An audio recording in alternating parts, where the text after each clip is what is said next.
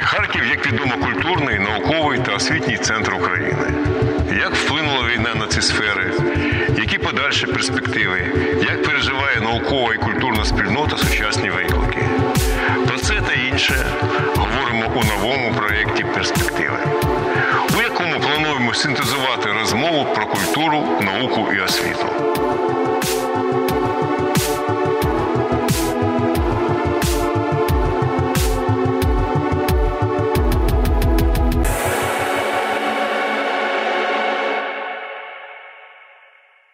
Гість нашої програми Борис Гриньов, український вчений, матеріалознавець, фізик. Гриньов Борис Вікторович народився 1 квітня 1956 року у Харкові. Український вчений, матеріалознавець, академік Національної академії наук України, доктор технічних наук, професор, директор інституту сцинтиляційних матеріалів Національної академії наук України.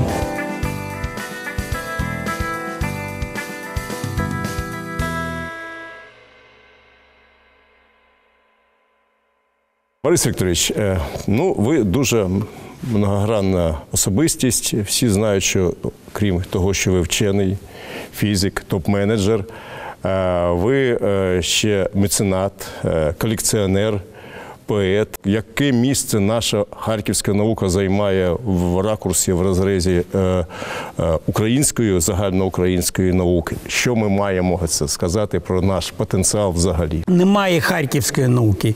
Є наука в місті Харкові. Не, не може бути. Це як немає системи Мінділеєва, яка має національність, яка має такі ознаки. Але наука в Харкові е, це таке видатне явище на мапі України. І ми повинні констатувати, що Існує таке загальне прийняте поняття, як Харківська школа фізики, тому що е, це найпотужніший е, осередок фізиків е, в Україні. Багато, багато дуже видатних результатів. Теоретичних, практичних, експериментальних було отримано в Харкові. Поняття Харківська школа теоретичної фізики міцно узвичаїлося фізиками, позначивши ту неформальну спільноту теоретиків, що сформувалася в Харкові у 30-60-х роках минулого століття. Започаткував школу видатний фізик Лев Ландау, один з найяскравіших представників теоретичної фізики та один з останніх великих теоретиків універсалів. Коли доводилося спілкуватися з Борисом Євгеновичем Патоном, він завжди казав про те, що е, харківські фізики це особове явище, якому немає рівних, рівних в країні. Е, Наука в місті Харкові вона посідає стійке друге місце по всіх економічних показниках, по коштах, які вона отримує, по кількості е, наукових е, установ, по економічних показниках у в Україні, але є декілька таких видатних е, шкіл, е, е, які притаманні місту Харкову. На жаль, сучасна ситуація дуже вплинула на, на цей процес, і Харків зазнав і має дуже багато руйнувань в сфері науки. Практично жодної академічної установи е, ми не маємо у Харкові, яка б не була зруйнована е, тій чи іншій частині. Жодного вузу е, вищого навчального закладу немає. Особливо досталося в цих всіх е, перипетіях е, Харківському національному університету і Харківському фізику, фізико-технічному інституту, де сотні ракет прилітали. Але ми пристосовуємося до, до цієї системи, і вчені продовжують працювати. І е, з'явилися дуже непогані публікації, і вчені, які приймали участь е, в міжнародних експериментах, продовжують е, це робити. Ми отримуємо багато грантів зараз на підтримку, на проведення сумісних дослід- досліджень разом з різними, з різними інститутами і інституціями світовими. І тому українська наука дуже дуже е, постраждала війну, але все ще виглядає потужно. На жаль, реформи в науці в України вони йдуть дуже повільно, і особових змін е, е, і особові зміни, особливі зміни, особові і особливі зміни потрібно, вносити е, в систему національних академій наук України, тому що Воно е, розвивається еволюційним шляхом, але е, не це дуже повільний шлях, і він, він пов'язаний з віком вчених, які працюють е, в цих закладах. Але е, ті законодавчі ініціативи, які були прийняті на сьогодні, коли не можна працювати більше двох е, термінів на керівних посадах, е, ці, е, ці зміни, які дуже революційним шляхом е, намагається вносити зараз в життя е, української науки е, Міністерство освіти і науки України, ну але не тільки в життя наукових установ. Він фактично міністерство позбавилося всіх своїх наукових установ в МОНі. І немає інститутів вже, вони їх попередавали, щось передали в Національну академію наук, щось приєднали до університетів. Тому е, ця наукова частина в МОНі е, вже е, зупинила своє існування як самостійні наукові установи. І зараз вони об'єднують вищі навчальні заклади. Наскільки я знаю, ваш інститут, ваша установа одна з немногих, які зараз активно працює. Що для вас було це, з початку війни? Як ви її зустріли? Як зустрів інститут? І як ви е, працюєте зараз? Ну і перші дні війни, і зараз, е, і початок цього року е, для нас це був жах. Ми втратили фактично е, свої дослідно, дослідні потужності, е, тому що коли е, прилетіло 5 березня, то було зруйновано і ми фактично втратили високотехнологічне устаткування. 5 березня це ми постраждали. І вдруге ми постраждали е, 2 січня. Коли прилетіла Тоді, коли був великий, великий да, напад на Харків. Да. Прилетіла туди, на це е, на, на цю територію, і, е, і фактично е, це, ця будівля вдруге постраждала. Але ми вже отримуємо гроші на, на те, щоб слава Богу, в академії є ці фонди, які на відновлення. Ну, тим не менш, ви працюєте зараз, продовжуєте працювати. працюємо. І більш того, ви казали мені, що це ви дуже, дуже, Дуже активно активно працюємо, взаємодієте з, і, з, з, із ринком, ми, і з, із і науковими установами. Отримуємо дуже багато грантів. Ми отримуємо е, допомогу західну. Ми приймаємо участь. е, Ми виграли, е, де ми головні виграли європейський грант Горизонт Європа. Е, Ми головні, а ЦЕРН у нас е, е, в співвиконавцях, і Ліонський інститут у нас в співвиконавцях. Ви ж є, є представником ГЦ України. Да, я представник України в ЦЕРНі е, і вже багато років. ЦЕРН європейська організація з ядерних досліджень, міжнародний дослідницький центр європейської спільноти, найбільша у світі лабораторія фізики високих енергій. ЦЕРН має у своєму розпорядженні цілу низку прискорювачів заряджених частинок, найбільший із яких великий адронний колайдер, що був запущений впродовж 2008-2010 років.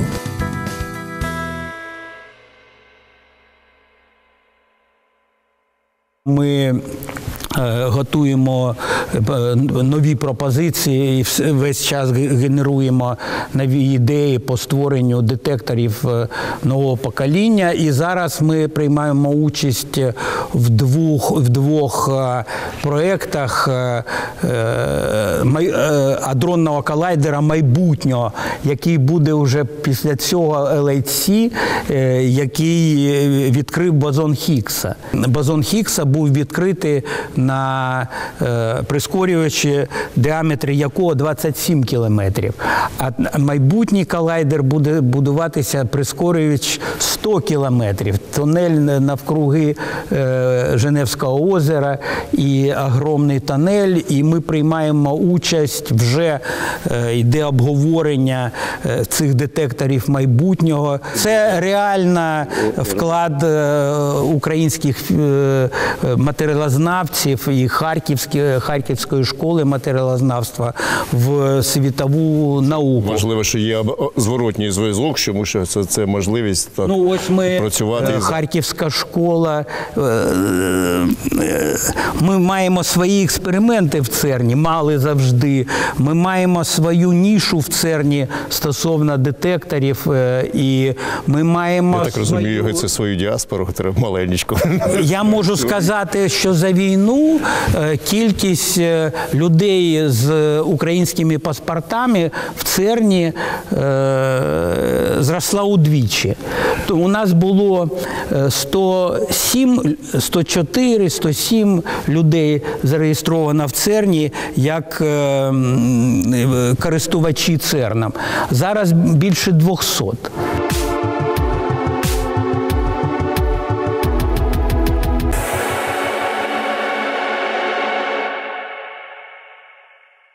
Дуже чутливе питання. Це е, стосовно людей. Да? Ми знаємо, що фізики це приготувати, підготувати вченого. Це ну дуже складна робота. Ви вже сказали про це. Це що майже штучний товар. Але ми знаємо зараз. Ну от ви сказали, що є дуже багато грантів. Це наші е, вчені працюють там за кордоном. Їх запрошують до е, дуже таких відомих наукових центрів. Але, але для нас питання їх повернення назад в Україну. Ви бачите в цьому зараз і в майбутньому проблему? Це є це якісь шляхи вирішення цієї проблеми? Ну, чи, чи, чи, чи не є проблема? Ні, це є дуже е, ця проблема є, завжди була і буде. Це е, тут ми повинні до цього відноситися е, дуже.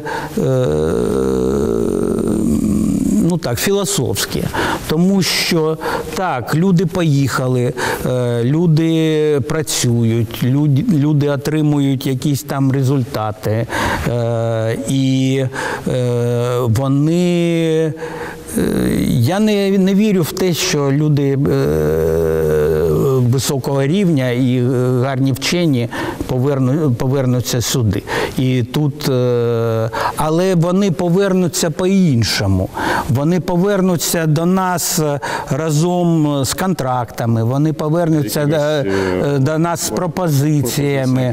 Вони повернуться сюди у вигляді коштів, які отримають наші, наші інститути і наші інституції. Це лоби- лобіювання, це але. Так, щоб фізично приїхати і, і жити в Україну. Ну, з іншого боку, не- ми розуміємо, що і що це не стосується війни. Ми знаємо, що це проблема, це не проблема, а це а стосовно глобалізації науки, яка вона Наука, вона ж не має кордонів. І вона... Це і ран- раніше, але так сказати, зараз розвинута держава має е, мати обов'язково в своєму арсеналі три важливих речі: це е, фундаментальна наука, е, класичні е, університети. учбові заклади, класичні, саме класичні освітні заклади, і академічна культура.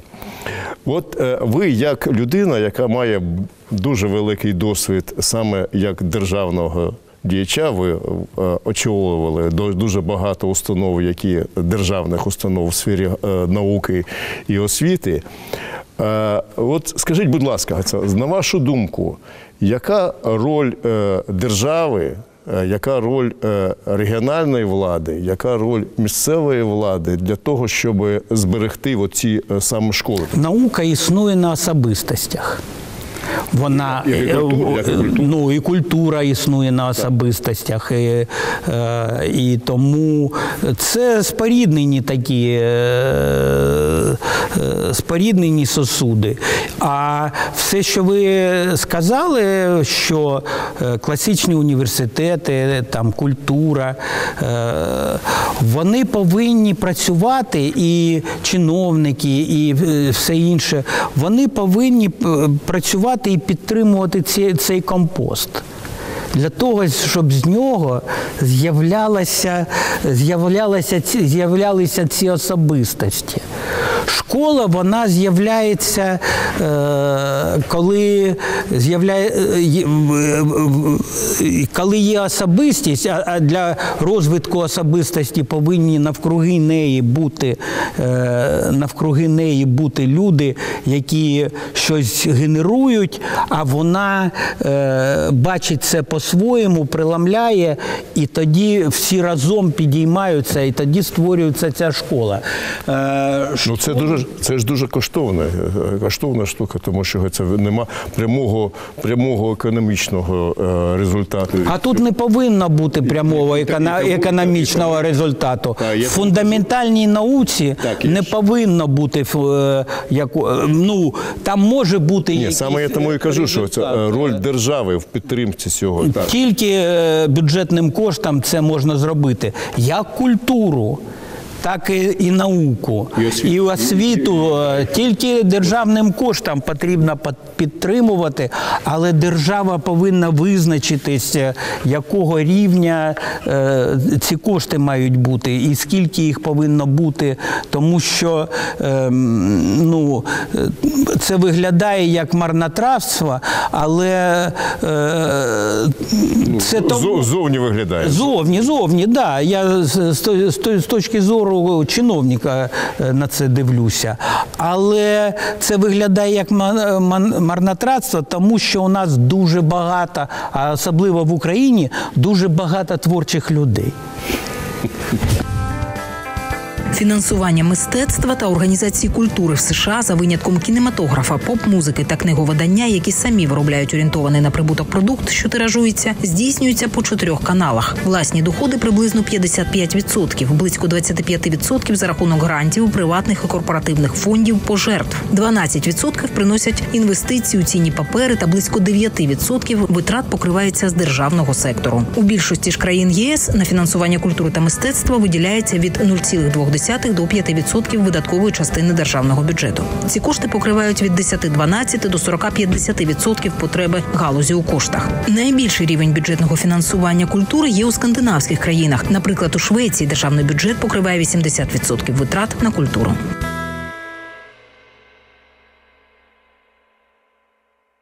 Завершую науковий блок. Е, Скажіть, будь ласка, от е, особисто для вас, для вашого інституту, які це результати ви вважаєте найбільш такі це вагомими, це якими ви особисто пишаєтесь? Це перша частина питання. І друга, скажіть, будь ласка, ну саме у Харкові, як ви вважаєте, є якісь наукові досядження, які ми можемо сказати, є це Нобелівським результатом? Ну давайте так скажемо. Е, Ми харків'яні ду- особисто. е, Гриньов Борис Вікторович є співавтором двох е, е, статей. Ну, це, були цикли статей, але дві статті видатні, які мають дуже великі цитування, за які люди отримали Нобелівську премію у 2006 році. Японці отримали, а і в 2012 році бозон Хіггса. Це я е, співавтор і е, сім людей з е, України співавтори цих статей. І тому ми приймаємо участь в Нобелівських результатах. Як, але це не прямий Нобелівський результат, але це те, що допомогло зробити Нобелівський результат. І Ну так, це не, не Нобелівський менш важливо. результат стосовно бозона Хіггса був отриманий на, ти, на тих кристалах. Які були запропоновані в, в Харкові в 1992 році. Була така видатна науковиця е, Людмила Лаврентівна Нагорна, і вона е, це був прорив е, при створенні великого адронного колайдера. І вона запропонувала інший матеріал, не такий, на який розраховували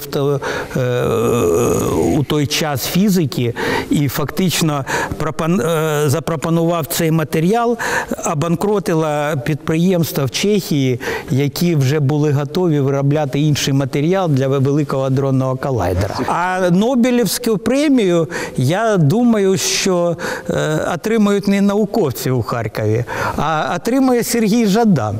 По літературі, я думаю, що це буде е, ну, обов'язково повинно бути. І тому що, але це вже інша частина, це культурна складова. Це, Оце. Зараз- це і, і там е, Харків ду- ду- дуже знаний. Це видатні е, постаті сучасності, які, які ходять з нами, які у вас тут на, на, на сцені всі виступають. е, І, е, я зараз тоді геце, хочу змінити геце, природньо змінити вже геце, вектор нашого, нашої розмови і саме перейти геце, до культурної частини. Ми знаємо, що у вас дуже велика колекція картин. Ми знаємо, що е, колекція Бориса Гриньова і Тетяни Гриньова, вона геце, виставлялася, експонувалася на дуже багатьох майданчиках. Розкажіть, будь ласка, про це захоплення і що воно для вас значить особисто. Це є у кожної людини, і у когось воно більш таке е, загострене, а у когось воно живе. Хтось е, збирає е, етикетки, а хтось збирає щось інше. Може трошки розкажете про вашу колекцію, тому що збирає. це ми так взагалі знаємо. У нас колекція така поліфонічна, але вона е, у е, в більшій частині своїй це сучасне українське мистецтво, і е, крім того, Харківська школа фотографії, Українська школа фотографії. Це те, що на той час, коли ми починали це збирати і колекціонувати, і промоу, промоушен робити, е, цим ніхто не займався. Точніше, займалися, але це було е, за кордоном. Але ніхто не знав про е, групу «Время» і.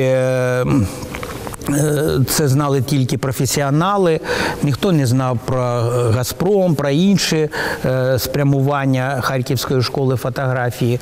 І тому ми зробили це публічним. І ми показали це на виставках, на багатьох виставках. Ми зробили м, присвячений цьому напряму в історії сучасного мистецтва конференції. Ми зробили. Дуже дуже багато е, кроків, і е, ці наші художники Харківської школи е, фотографії, група «Время», вони зараз знаходяться е, в основній експозиції музею Помпіду у, у Франції.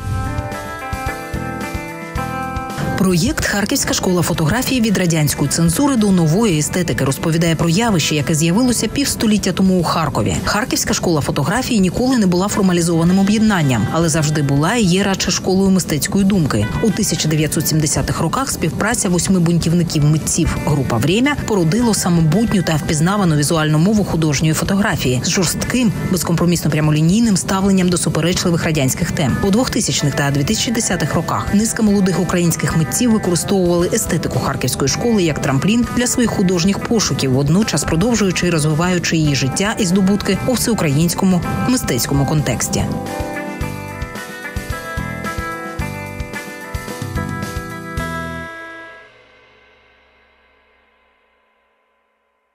Ми передали разом з Тетяною Павловою 124 е, об'єкти до музею Помпіду подарували.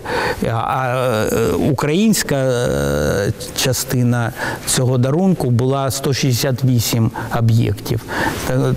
З Харкова левова доля попала до музею Помпіду. Були спеціальні конференції цьому присвячені. У Франції весь рік там було декілька заходів, присвячених е, поповненню фондів музею Помпіду. Е, Ми проводимо виставки е, харків'ян. Є дуже такий знаний фотохудожник, репортер, фоторепортер е, Осіпов, е, е, який жодного заходу не, немає у Харкові, де б, де б його не було. А ми йому зробили вже зараз. У нас йде третя, а може вже і четверта виставка за кордоном. Е, Він е, відзняв е, е, мій інститут, як він у, у травні е, 2022 року, як люди жили у під землею, як вони працювали, як вони ховалися. Ви там від- викладали це у Фейсбуці, да? Чи... Ну, щось викладалося у, у Фейсбуці, а є така серія, серія фоторобіт, е, де показано, як е, е, жив інститут у війну. І декілька цих робіт. і цьому була присвячена і виставка в січні місяці. Виставка про це, фото Осіпова, вона була в ЦЕРНі. І ЦЕРН виставляв цю виставку і експонував її. Я бачив, як люди зацікавлено дивилися на все це, на, на цих котів, собак, на ці всі у. Підземні зйомки, і я можу, я без сліз не можу е, казати. Це знову ми повертаємося е, до інституту. Я дуже вдячний своїм співробітникам, які вистояли, які зробили все те, що, що вони зробили. Вони е, позбавилися цих руйнувань, які зазнала установа у, війну. Вони жили у підвалах і робили наукові роботи. Вони робили дисертації. У нас е, дві дисертації захистили ось в цьому місяці і в грудні. Ну, от бачите, це, це все ж таки це от, не переміжається у вас. Ну, а воно ж е, І від фото, від фото Осіпова, воно перейшло. саме, саме про це, це у мене наступне запитання. Фізика і лірика. Е, Ну, в часи нашої юності це була до- досить популярна формула, яка була бутувала це у наших колах. Скажіть, будь ласка, а що особисто для вас означає творчість? Е, Саме ну, творчість саме е, наукова, це розуміло, це професійна, а е, творчість художня. Що для вас значить? Як ви це для себе відчуваєте? Це єдиний процес такий. Це, це єдиний процес, яким Ви ти вже побачили це, тому що ви це непреривно перейшли від однієї теми до другої. яким ти живеш. Ну я можу там кожного, кожного ранку я там е, е, у Фейсбуці видруковую е, там якийсь невеличкий вірш е, чи е, якусь таку. Е, Невеличкий твір такий. І Кожний день спротиву, кожна мертва макака наближає рейх Путіна до великого краху. Це ваш вірш. Ну, да, так, це- да. І я розумію, що зараз, у 23-му році особливо, майже геться, там через день, чи кожен день геться, ви друкуєте на Фейсбуці своїй страниці, е, сторінці в Фейсбуці, е, друкуєте свої, свої вірші. Розкажіть, будь ласка, про цю частину свого життя і які, які у вас Ну, ось плани. ми- плани. Ми е, тримаємо цей, це остання е, книга, яку видали, е, яку видали, це було у грудні перед е, Новим роком. Е, І тут е, зроблена. Ми робили її дуже важко повірити, але робили її з композитором Михайлом Некрасовим. Він тут фотохудожник цього видання. А моделлю, яка описувала емоції, які існували в, тому чи іншому випадку, був Ель Кравчук, е, відомий дуже співак, е, з яким я багато працюю. Вже е, ми працюємо десь з листопада 2019 року. Це вже е, в цьому році буде п'ятий рік, як ми разом працюємо. Е, Багато пісень було написано, і е, це книга емоцій. Емоцій Кравчука, емоцій Михайла Некрасова і емоцій моїх, які я.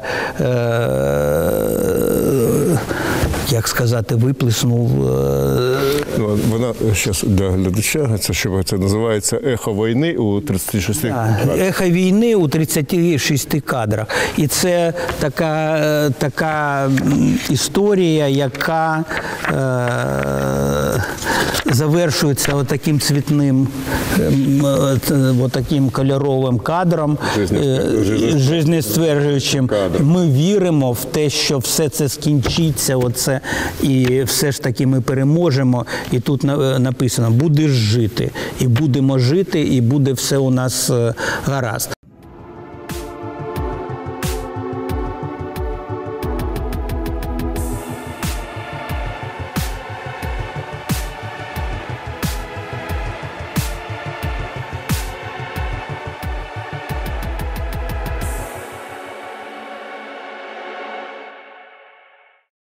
З'явилося дві пісні. Ось коли е, протягом цього часу, е, коли одну пісню, е, це от обличчя війни за кадром, е, хоче співати і зараз пише музику, і робиться така е, 14-річна співачка е, е, з Харкова, яка зараз навчається у Львові, у Києві, Віталіна Біссонова. Всі знають її, і вона е, харіз... да, да, да. І вона е, взялася, е, вона мені зателефонувала, написала Борису Вікторовичу, я хочу співати цю пісню. І вона мені прислала початок мелодії. І... А друга пісня, яка з'явилася, і її взяли е, до вистави, над якою ми також працюємо. Е, вона так і називається пісня. Я у десь о сьомій розмістив цей вірш, а десь об одинадцятій мені композитор прислав вже на- написану, написану музику і е, проспівану пісню е, з цієї книжки. І тому воно все е, життя вирує, воно активне таке життя, і ми йдемо, не можемо зупинитися, і е, весь час е, щось народжується, нові ідеї. Наступне, наступне питання, це воно стосується зараз. Ми подивимось на екрані.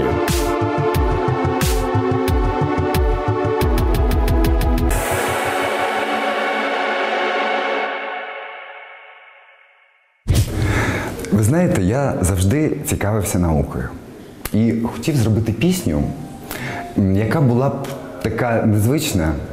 Е, Пісня про екзопланети, пісня про якесь таке космічне кохання. І в розмові з е, дуже відомим колекціонером живопису сучасного, е, він німець. І цей німець каже мені, Міхаель, його звати, Міхаель каже: Ти знаєш, у мене є такий друг Борис Вікторович Гриньов. Я хочу познайомити вас. Ти ж в Києві, і він в Києві. Ну, в Харкові, але ж буває в Києві. Чому вам не познайомитись? От ти мені про ці екзопланети кажеш, це буде цікаво. І ми так зустрілися. І перша наша пісня була ем, англійською мовою. В тому році е, отримали е, Нобелівську премію е, по фізиці за відкриття екзопланет. І я про екзопланети написав йому пісню. І там є в його репортажі репертуарі є така пісня англійською мовою Джанет. І ось воно, е, з цього почалася наша, е, наша е, творча співпраця. Наші стосунки це така творча атмосфера, така, він дуже така людина. Ну, вже ж на сцені багато років, 30 років на сцені. І він е, відома особистість, і він пік, е, е, пік функції Гріна у нього був. З ним цікаво працювати в тому плані, в тому сенсі, і в тому плані, що він дуже гарно сприймає. Якщо йому пропонують ще якісь нові ідеї, він е, дуже відкликається дуже швидко на, на них. І але іноді це боляче для тебе, але іноді воно сприймається. І він мені каже: Борисе, я хочу вам запропонувати. У мене там є музика, написати вірші, і там мені потрібно підготуватися там для конкурсу. Е, я, ну, я кажу, ну давайте ми зробимо це. Але пісня повинна бути на англійській мові. І я кажу, я не маю досвіду написання пісень англійською. Нас познайомив, е, ем, познайомила людина з німецьким корінням, німецькомовна людина. Е, Мабуть, тому е, у мене і сумлінь не було, що Борис знає всі мови світу. Ну, він така людина світу. Сьогодні він працює в Женєві в Церні. Завтра він буде е, в Києві, післязавтра в Харкові. І я завжди не встигаю е, зрозуміти, де він. І все це він робить на 100%. Робить для країни, робить для людей, е, не робить для себе. Це я вам точно можу сказати. Я переклав його відомий хіт Голівуд, е, який був дуже популярний. Я переклав його українською, і він його переспівав. Е, І е, була така пісня ще Порошок від кохання.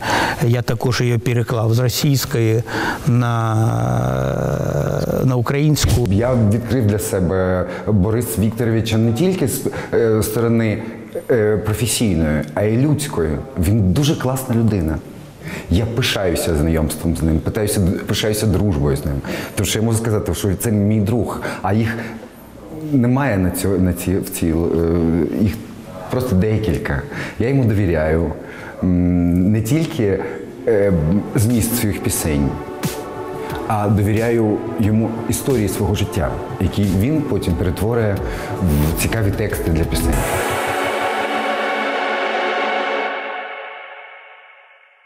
Ви корінний харків'янин. Скажіть, будь ласка, ну от які у вас побажання до харків'ян в цей дуже складний час? Наші мешканці це чудові люди.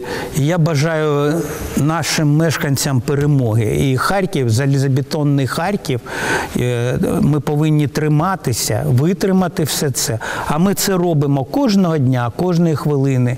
Е, Ми не маємо іншого шляху. І